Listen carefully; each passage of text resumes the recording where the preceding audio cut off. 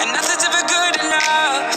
I wrote a little song for you, it go like, "Break me, for so fucking done with you, girl. So fucking done with all the games you play. I ain't no tic tac toe. Save the X's and O's on the